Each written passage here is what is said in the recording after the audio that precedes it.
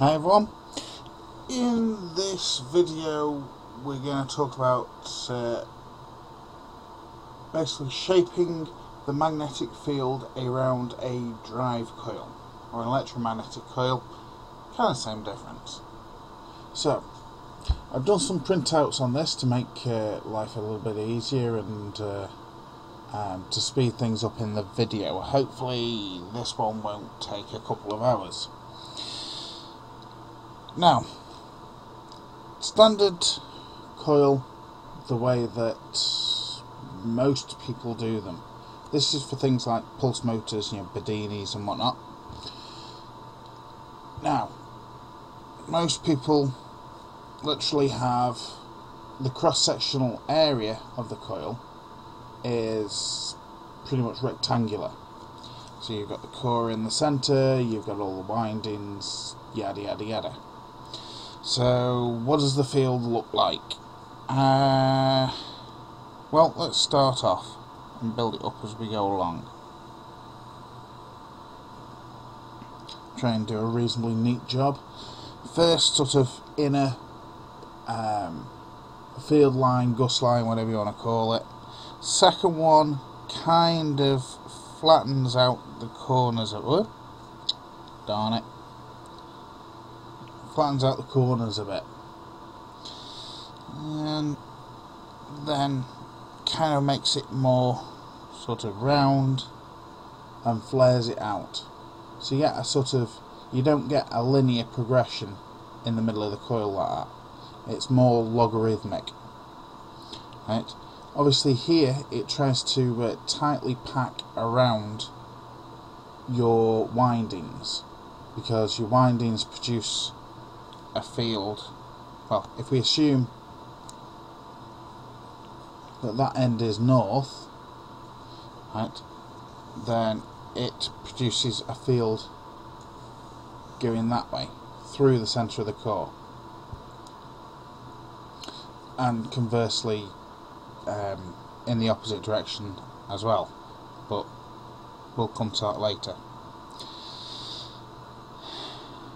So, around the turns, as you're looking at it through a cross-sectional area, you get the field, if it's a single wire, then it just spins around the wire. But because you're tightly packing these wires together, the field expands to encompass all the wires to the outer edge of the wires. If that makes sense. So, from this, if I then kind of draw in the other side as well,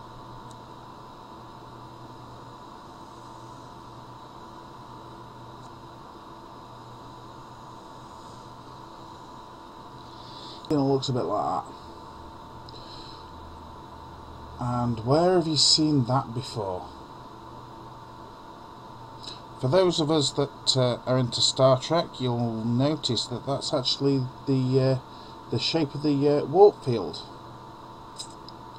I wonder where they copied that idea from in the uh, to make the movie. Yeah, he copied it from Magnetic Diagram because it looks cool. And it also looks like uh, Wesley's warp bubble as well. Mm. Yeah, looks like Wesley's warp bubble. Hmm. They like to copy things, those guys do. But, uh, being a Trekkie aside, um, you might want to do a search for Wesley's warp bubble because that, um, because they show the warp bubble in three-dimensional view, and that's a very good um, diagram of how this field's the magnetic field forms around a three-dimensional object, such as a coil. So, being a Trekkie aside, go take a look. Um, I don't know what the episode is. It's one of the um, the next generation episodes. Um,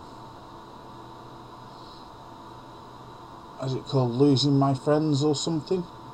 Or Friends, something like that off the top of my head. It's been a while since I've uh, uh, seen any of the next generation stuff.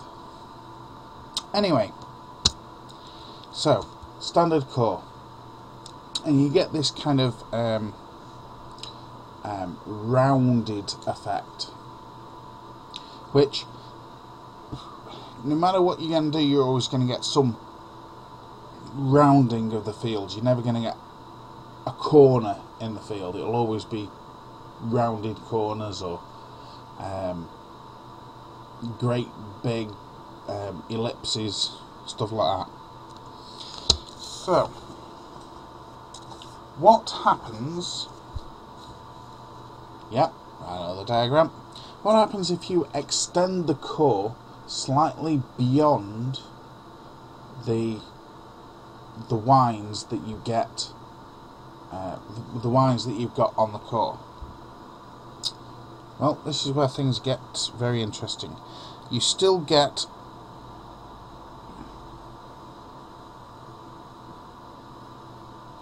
the tight one that goes around all the all the windings. But you then get the next one which kind of does that.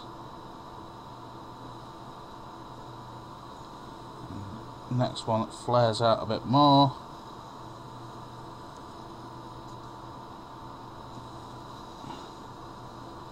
And then we ran out of paper. I'll just do them for illustrative purposes. You can connect the dots later. Okay.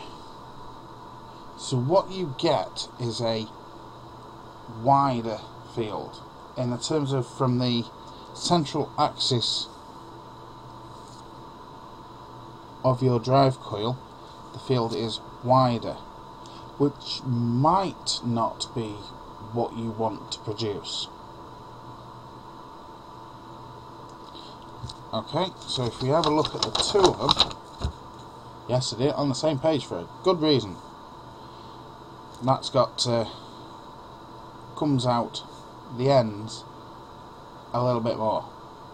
If uh, draw some more lines on for illustrative purposes, you kind of get that. Uh, probably not the best drawing, but never mind. Whereas this one is more to the side. Now,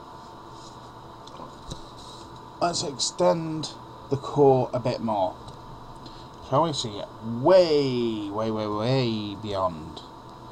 So what you get, you still get your packed line around there. It's not exactly rectangular, but it's done. It follows the curves of your um, uh, of your wire that you're using. And then the next one kind of does this.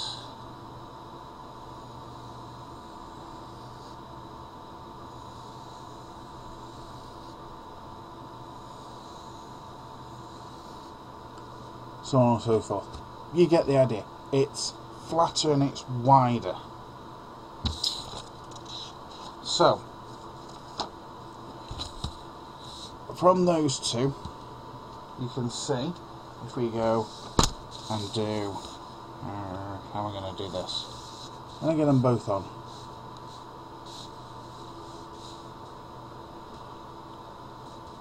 Hmm, actually, that end is probably the better end.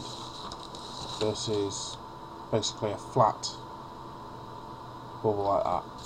If you extend your centre core too far out of it, you will get an extremely weak field at the end, which is, well, which can be completely useless.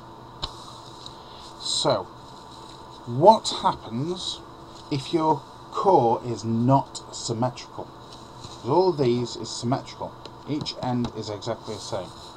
What happens if your core is not symmetrical?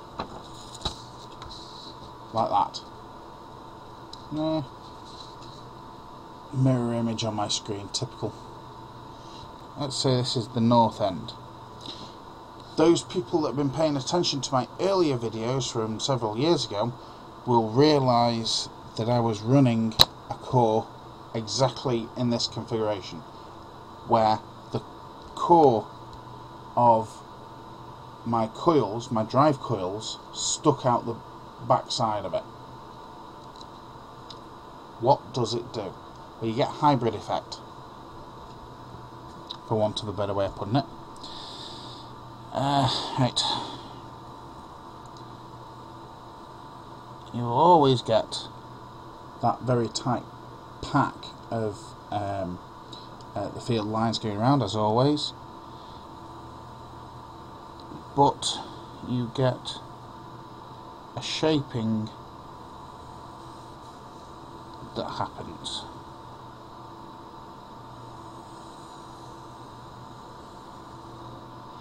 Uh, hopefully that uh, illustrates it okay hopefully people can uh, can see the shape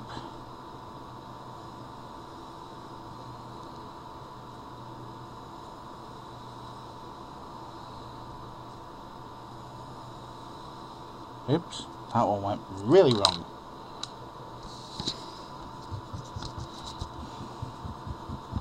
Let me draw this out properly. One of the good things about using pencil.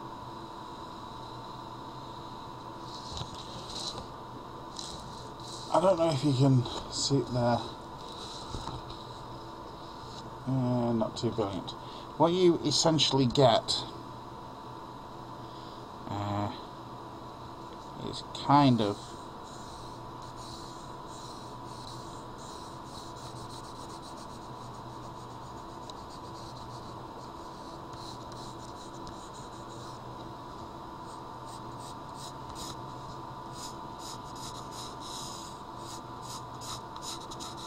I'll just illustrate it like this.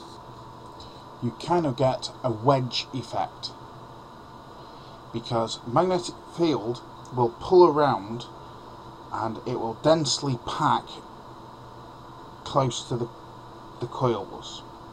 But it doesn't like being like that. So where you've got limited space here you get a very close pack of the field but at the tail end where you've got plenty of core sticking out it has room to expand so you get a wedge effect from your drive coils. Doesn't always work like that. Um, different drive coils and cores will do slightly different effects in the terms of um, the shape of the magnetic field. Now, the biggest limiting factor of this shape, you will a point on it, but if you took out, if you angled your turns also like that,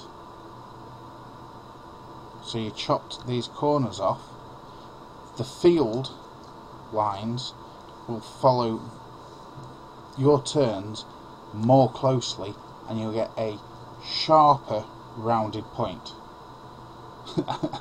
yeah, I know how that sounds it's not a point, it will always be curved, but it'll be sharper, closer to being a point.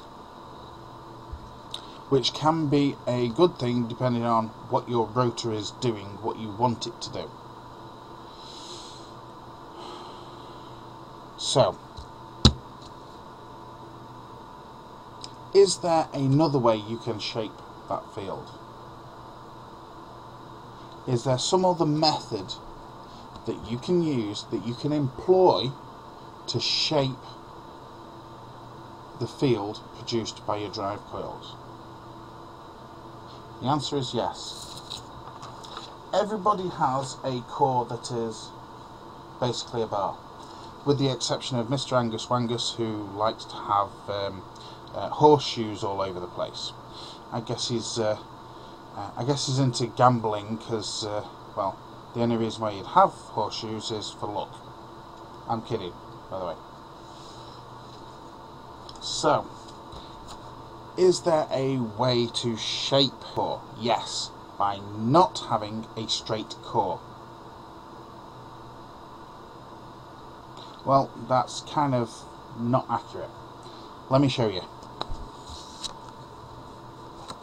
And those that have also followed my videos from several years ago will also note that at several points I did in fact have a plate at the back of my drive coils. So essentially your core is a T. Let's take a look at the flux line shall we? Well on this particular diagram I've stuck the nose out a touch. Um, you kind of do need it out a little bit. Uh, practical experiments have confirmed that a slight protrusion of the core makes for better drive.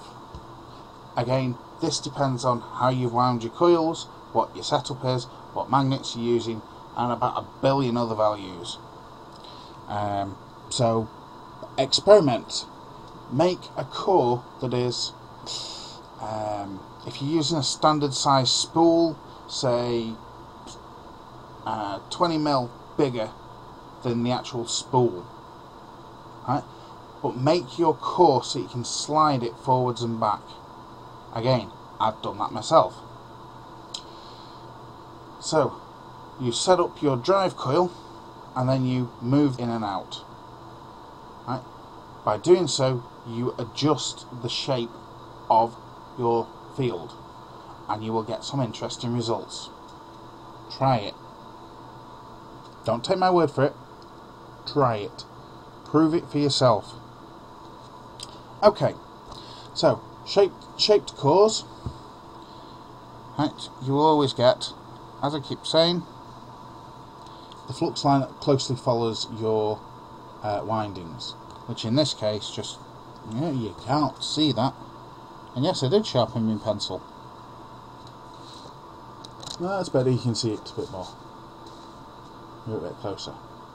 Right, so it goes to the plate at the back and then conducts back round. Okay, it always conducts through the core. It tries, as I keep saying to you, the cores, the magnetic cores, um, the magnetic field basically can be a rough figure about 100 times denser through a magnetic medium such as iron than it can through the air. A rough figure. I'm just throwing that one out for illustration purposes. So don't quote me on that. So it will always head, head rather, um, straight for a magnetically conductive material. If that material is not quite following the line that it of the direct line from north to south and south to north, it will still follow it. So even if it's at like a 45 degree, it'll still follow it because it can conduct through the magnetically conductive material better than it can through air. So the backside will pull it round. So what you end up with again is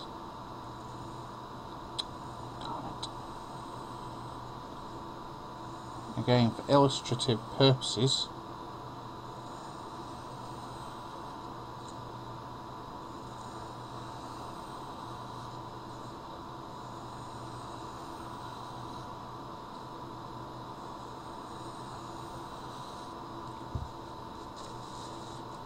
There you go. Hey, looks a bit more pointed, does it not? If we point it, give you a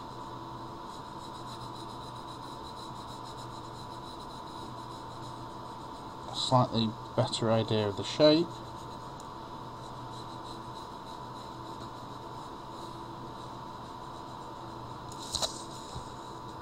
That's what you get again. Right.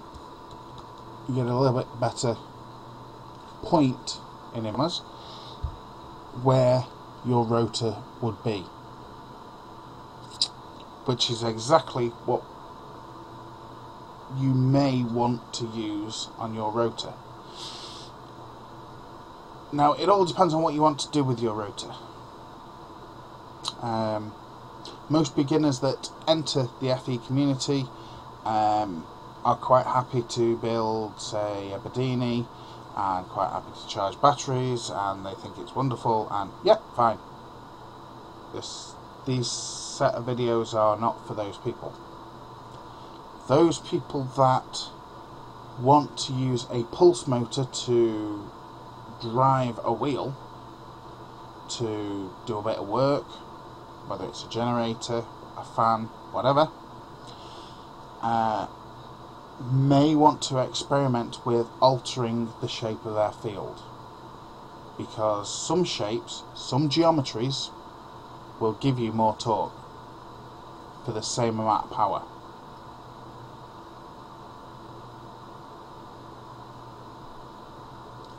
So don't just wind standard cylindrical coils, don't just pack them with standard um, cores um, that everyone else uses.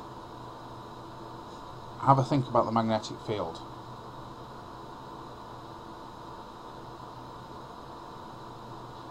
hopefully that will inspire people to start thinking about how they can change their pulse motor to do other things. I will place um, on this video um, some links to other YouTube videos how can I put it? I've got, I think it's four or five at the moment that I've found. Not strictly relevant to magnetic fields, but they contain a lot of information on calculating fields, etc., um, etc.